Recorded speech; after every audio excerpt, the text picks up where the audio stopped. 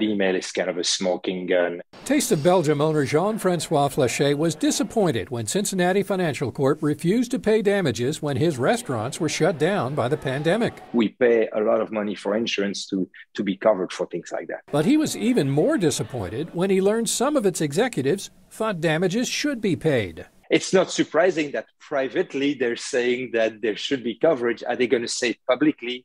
I doubt it.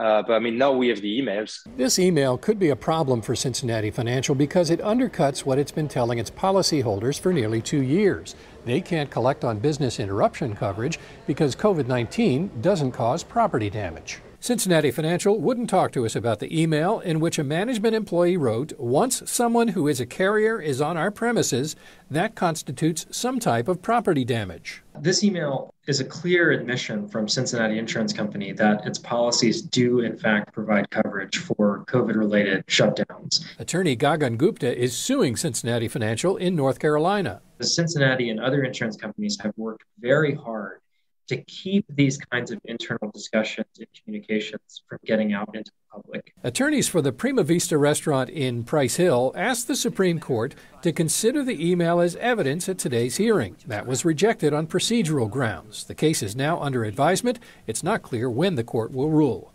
Dan Monk, WCPO 9,